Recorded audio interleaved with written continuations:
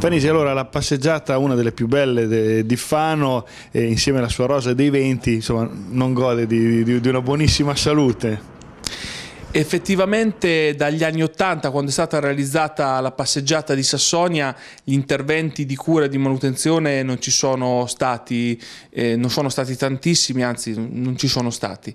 Noi eh, anche attraverso una programmazione di attività siamo, abbiamo iniziato a intervenire. La Rose dei Venti purtroppo è, è da eh, 30 anni che non è più in uso, e devo dire che anche recentemente è stata vandalizzata perché è tutta rovinata eccetera, cercheremo di intervenire, eh, però siamo consapevoli del fatto che per sistemare tutta Sassonia servirebbero milioni di euro. Eh, noi passo dopo passo cerchiamo di programmare degli interventi per rendere comunque quella passeggiata importante e molto più bella rispetto all'anno prima. Quindi ecco, con una programmazione pluriennale cerchiamo di intervenire per sistemare prima i LED, poi la pista ciclabile, adesso sistemeremo i giochi, i giardini, tutto quello che c'è dietro.